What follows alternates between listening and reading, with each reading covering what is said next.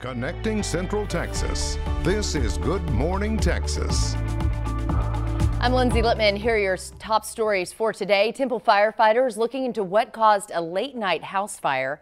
Temple Fire and Rescue got the call to the 600 block of East Downs Avenue just after 10 o'clock last night. Fire officials say one person was in the home at the time of the fire, but they were able to get out safely.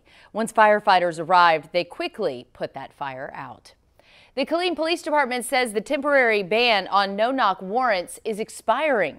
Police say during the 90-day review, a no-knock committee met to discuss how the department could improve on its policy. The Killeen Police Chief says no-knock warrants will no longer be used in narcotic-only searches.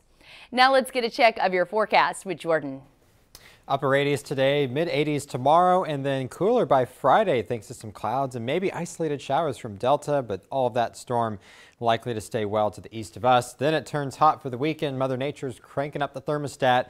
93 Sunday, feeling like upper 90s, and then the cold front comes through next week, backing down to the 80s and eventually the 70s by next weekend.